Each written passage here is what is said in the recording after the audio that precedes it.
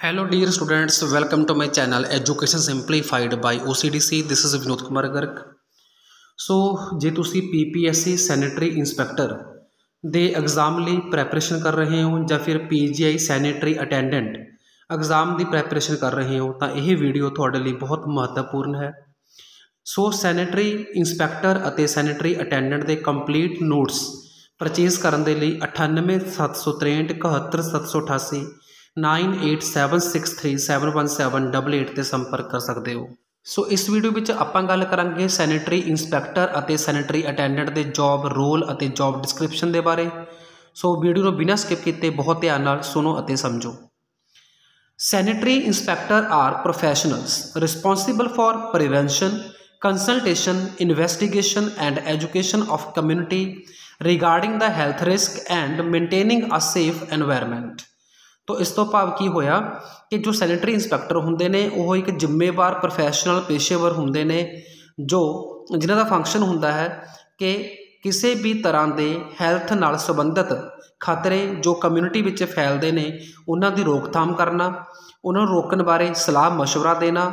ਠੀਕ ਹੈ ਕਿਸੇ ਬਿਮਾਰੀ ਦੌਰਾਨ ਕਿਸੇ ਵੀ ਇਨਫੈਕਸ਼ਨ ਦੇ ਸੋਰਸ ਨੂੰ ਆਇਡੈਂਟੀਫਾਈ ਕਰਨ ਦੇ ਲਈ ਇਨਵੈਸਟੀਗੇਸ਼ਨ ਕਰਨਾ ਅਤੇ ਕਮਿਊਨਿਟੀ ਨੂੰ ਐਜੂਕੇਟ ਕਰਨਾ ਕਮਿਊਨਿਟੀ ਨੂੰ ਪਬਲਿਕ ਹੈਲਥ ਬਾਰੇ ਸਿੱਖਿਆ ਦੇਣਾ, ਇਹ ਸਾਰੇ ਫੰਕਸ਼ਨ ਸੈਨੇਟਰੀ ਇੰਸਪੈਕਟਰ ਦੇ ਹੁੰਦੇ ਹਨ। ਇਸ ਤੋਂ ਉਪਰੰਤ ਆਪਾਂ ਗੱਲ ਕਰਾਂਗੇ ਕਿ ਸਕਿੱਲਸ ਸੈਨੇਟਰੀ ਇੰਸਪੈਕਟਰ ਜਾਂ ਸੈਨੇਟਰੀ ਅਟੈਂਡੈਂਟ ਕੋਲ ਕਿਹੜੇ ਕਿਹੜੀਆਂ ਹੋਣੀਆਂ ਚਾਹੀਦੀਆਂ ਨੇ। ਸਭ ਤੋਂ ਪਹਿਲਾਂ ਕੀ ਹੈ practice food safety food safety rules food safety ਦੇ ਨਿਯਮ, ਇਹਦੇ ਬਾਰੇ ਤੁਹਾਨੂੰ ਸਾਰਾ ਪਤਾ ਹੋਣਾ ਚਾਹੀਦਾ ਹੈ। Waste disposal without harming environment ਵਾਤਾਵਰਣ ਨੂੰ ਬਿਨਾਂ ਨੁਕਸਾਨ ਪਹੁੰਚਾਏ, ਕਿਸੇ ਵੀ ਵੇਸਟ ਦਾ ਨਿਪਟਾਰਾ ਕਿਸ ਤਰ੍ਹਾਂ ਕਰਨਾ ਹੈ, ਇਹ ਤੁਹਾਡੇ ਕੋਲ ਸਕਿੱਲ ਹੋਣੀ ਚਾਹੀਦੀ ਹੈ। ਉਸ ਤੋਂ ਬਾਅਦ ਹੈ supervise and supply sorry apply principle of natural and mechanical ventilation ਠੀਕ ਹੈ, ਕੁਦਰਤੀ ਅਤੇ ਆਰਟੀਫੀਸ਼ੀਅਲ ਤਰੀਕੇ ਨਾਲ ਜਿਹੜੀ ਵੈਂਟੀਲੇਸ਼ਨ ਹੁੰਦੀ ਹੈ, ਹਵਾ ਦਾ ਆਦਾਨ ਪ੍ਰਦਾਨ ਹੁੰਦਾ ਹੈ ਠੀਕ ਹੈ, ਇਸ ਤਰ੍ਹਾਂ ਦੀਆਂ ਜੋ ਫੈਸਿਲਿਟੀਆਂ ਨੇ, ਜੋ ਸਹੂਲਤਾਂ ਨੇ, ਉਹਦੇ ਬਾਰੇ ਤੁਹਾਨੂੰ ਸਾਰੇ ਨਿਯਮ ਪਤਾ ਹੋਣੇ ਚਾਹੀਦੇ ਨੇ। ਅਗਲੀ ਸਕਿੱਲ ਜੋ ਤੁਹਾਡੇ ਕੋਲ ਹੋਣੀ ਚਾਹੀਦੀ ਹੈ, ਉਹ ਹੈ supervise and conduct the survey ਕਿ ਤੁਸੀਂ ਸਰਵੇਖਣ ਕਿਵੇਂ ਕਰਨਾ ਹੈ ਕਿਸੇ ਏਰੀਆ ਦੇ ਵਿੱਚ, ਕਿਸੇ ਹਾਊਸਿੰਗ ਕਲੋਨੀ ਦੇ ਵਿੱਚ to assess the sanitary standard ਇਹ ਪਤਾ ਲਗਾਉਣਾ ਕਿ ਕਿਸੇ ਏਰੀਆ ਦੇ ਵਿੱਚ, ਕਿਸੇ ਖੇਤਰ ਦੇ ਵਿੱਚ ਸੈਨੀਟਰੀ ਸਟੈਂਡਰਡ ਨੂੰ ਫੋਲੋ ਕੀਤਾ ਜਾ ਰਿਹਾ ਹੈ ਜਾਂ ਨਹੀਂ ਜਾ ਰਿਹਾ। ਜੇ ਉੱਥੇ ਕੋਈ ਕਮੀ ਹੈ, ਤਾਂ ਉਹਦੇ ਲਈ ਕਿਸ ਤਰ੍ਹਾਂ ਦਾ ਕਰੈਕਟਿਵ ਮੈਜ਼ਰ ਤੁਸੀਂ ਦੇਣਾ ਹੈ? ਕੋਈ ਸਾਵਧਾਨੀ ਵਰਤਣ ਲਈ ਕਹਿਣਾ ਹੈ ਜਾਂ ਕੋਈ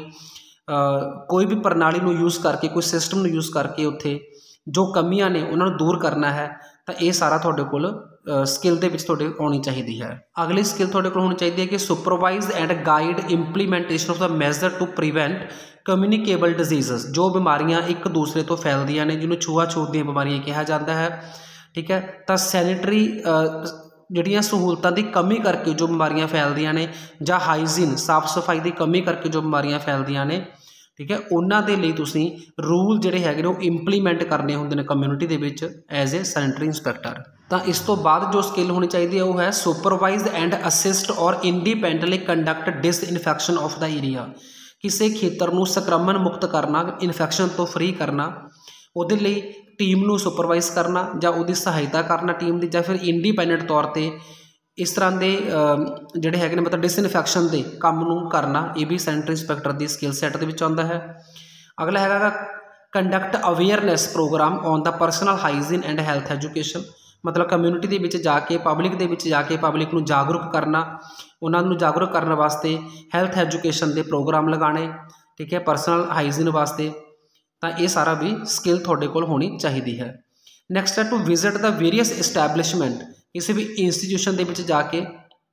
ਮਤਲਬ ਉੱਥੇ ਵਿਜ਼ਿਟ ਕਰਨਾ ਤੇ ਉੱਥੇ ਅਸੈਸ ਕਰਨਾ ਕਿ ਉਹਦੀ ਕਲੀਨਲੀਨੈਸ ਯਾਨੀ ਕਿ ਸਾਫ਼ ਸਫ਼ਾਈ ਕਿਸ ਤਰ੍ਹਾਂ ਹੈ, ਉੱਥੇ ਹਾਈਜੀਨ ਪ੍ਰੈਕਟਿਸ ਨੂੰ ਫੋਲੋ ਕੀਤਾ ਜਾ ਰਿਹਾ ਜਾਂ ਨਹੀਂ। ਸੋ ਇਸ ਤਰ੍ਹਾਂ ਇੱਕ ਤਰ੍ਹਾਂ ਦਾ ਰੇਡ ਮਾਰਨਾ ਵੀ ਕਹਿ ਸਕਦੇ ਹਾਂ ਵੀ ਇਹ ਸੈਂਟਰ ਇੰਸਪੈਕਟਰ ਦੇ ਸਕਿੱਲ ਸੈੱਟ ਦੇ ਵਿੱਚ ਆਉਂਦਾ ਹੈ। ਅਗਲਾ ਹੈਗਾ maintain the record register and ensure implementation of the sanitary policy of the institution ਮਤਲਬ ਗੌਰਮੈਂਟ ਦੇ ਨਿਯਮਾਂ ਅਨੁਸਾਰ ਗੌਰਮੈਂਟ ਦੇ ਰੂਲਾਂ ਅਨੁਸਾਰ ਹਰ ਜਗ੍ਹਾ ਦੇ ਉੱਪਰ ਸੈਨੀਟੇਸ਼ਨ ਪਾਲਿਸੀ ਨੂੰ ਲਾਗੂ ਕਰਵਾਉਣਾ ਇੰਪਲੀਮੈਂਟੇਸ਼ਨ ਕਰਵਾਉਣਾ ਤੇ ਉਹਦਾ ਰਿਕਾਰਡ ਰੱਖਣਾ, ਉਹਨੂੰ ਆਪਾਂ ਰਿਕਾਰਡਿੰਗ ਕੀਪਿੰਗ ਕਵਾਂਗੇ। ਸੋ ਇਹ ਸਕਿੱਲ ਵੀ ਐਜ਼ ਏ ਸੈਨੀਟਰੀ ਇੰਸਪੈਕਟਰ ਹੋਣੀ ਚਾਹੀਦੀ ਹੈ। ਇਸ ਤੋਂ ਉਪਰੰਤ ਆਪਾਂ ਗੱਲ ਕਰਾਂਗੇ ਜੌਬ ਡਿਊਟੀਆਂ ਦੀ। ਤਾਂ ਜੌਬ ਡਿਊਟੀ ਪਹਿਲੀ ਹੈਗੀ inspect sanitary condition of the restaurants hotels schools hospitals and other public facilities ਇਹਨਾਂ ਸਾਰੀਆਂ ਜਗ੍ਹਾ ਤੋਂ ਉੱਪਰ ਜਾ ਕੇ ਸੈਨੀਟਰੀ ਕੰਡੀਸ਼ਨਸ ਨੂੰ ਇਨਸਪੈਕਟ ਕਰਨਾ। ਇਸ ਕਰਕੇ ਹੀ ਆਪਾਂ ਸੈਨੀਟਰੀ ਇਨਸਪੈਕਟਰ ਕਹਿੰਦੇ ਹਾਂ, ਠੀਕ ਹੈ? ਤੇ ਕਿ ਇੱਥੇ ਕੋਈ ਕਮੀ ਪੇਸ਼ੀ ਹੈ, ਤਾਂ ਉਸ ਦੇ ਅਕੋਰਡਿੰਗਲੀ ਜੋ ਵੀ ਆਪਣੇ ਸਿਧਾਂਤ ਹੁੰਦੇ ਨੇ, ਉਹਨੂੰ ਫੋਲੋ ਕਰਦੇ ਹੋਏ ਜਿਹੜੇ ਕਰੈਕਟਿਵ ਮੈਜ਼ਰਮੈਂਟਸ ਨੇ, ਉਹ ਲੈਣੇ ਹੁੰਦੇ ਨੇ। ਉਸ ਤੋਂ ਬਾਅਦ ਹੈਗਾ conduct survey and monitoring programmes of natural environment to identify the source of pollution ਕਿਸੇ ਵੀ ਤਰ੍ਹਾਂ ਦੇ ਪ੍ਰਦੂਸ਼ਣ ਦੇ ਸਰੋਤ ਨੂੰ ਫਾਈਂਡ ਆਊਟ ਕਰਨ ਦੇ ਲਈ, ਲੱਭਣ ਦੇ ਲਈ ਸਰਵੇਖਣ ਕਰਨਾ ਤੇ ਕਿਸੇ ਵੀ ਸਰਵੇਖਣ ਪ੍ਰੋਗਰਾਮ ਨੂੰ ਬਾਰ-ਬਾਰ ਟਰੈਕ ਕਰਦੇ ਰਹਿਣਾ, ਠੀਕ ਹੈ, ਇਹ ਵੀ ਸੈਂਟਰੀ ਇੰਸਪੈਕਟਰ ਦੀ ਡਿਊਟੀ ਹੁੰਦੀ ਹੈ। ਫਿਰ ਹੈ collect the biological and chemical sample ਨਮੂਨੇ ਲੈਣਾ, ਜੈਵਿਕ ਜਾਂ ਫਿਰ ਰਸਾਇਣਿਕ, ਠੀਕ ਹੈ, ਤੇ ਉਹਨਾਂ ਨਮੂਨਿਆਂ ਦਾ ਵਿਸ਼ਲੇਸ਼ਣ ਕਰਨਾ, ਉਹਨੂੰ ਐਨਾਲਿਸਿਸ ਬੋਲਦੇ ਨੇ, ਤਾਂ ਇਹ ਵੀ ਜੌਬ ਡਿਊਟੀ ਹੁੰਦੀ ਹੈ ਸੈਂਟਰ ਇੰਸਪੈਕਟਰ ਦੀ। ਫਿਰ ਹੈ investigate the health and safety related complaints ਜੋ ਵੀ ਸਿਹਤ ਨਾਲ ਸੰਬੰਧਿਤ ਸ਼ਿਕਾਇਤਾਂ ਪਬਲਿਕ ਤੋਂ ਮਿਲਦੀਆਂ ਨੇ, ਉਹਨਾਂ ਦਾ ਨਿਪਟਾਰਾ ਕਰਨਾ, ਉਹਨਾਂ ਦੇ ਬਾਰੇ ਦੇਖ ਰੇਖ ਕਰਨਾ, ਇਹ ਵੀ ਸੈਂਟਰ ਇੰਸਪੈਕਟਰ ਦਾ ਜੌਬ ਰੋਲ ਹੁੰਦਾ ਹੈ। ਇਸ ਤੋਂ ਇਲਾਵਾ ਕਿਤੇ ਕੋਈ ਹੈਜ਼ਾਰਡਸ ਖਤਰਨਾਕ ਮਤਲਬ ਕੈਮੀਕਲ ਸਪਿਲ ਆਊਟ ਹੋ ਜਾਂਦਾ ਹੈ, ਕਿਤੇ ਮਤਲਬ